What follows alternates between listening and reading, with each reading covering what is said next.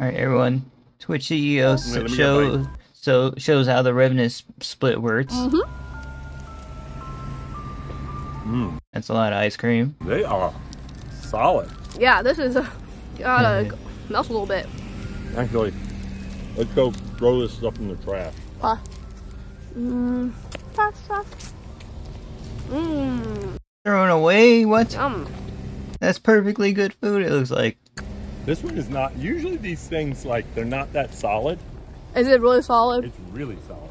Wow, colorful. Here, let me get a bite. Mm-hmm. Mm, they are solid. Yeah, th- I just gotta wait it for it to dry. I mean, uh, melt a little. I said dry.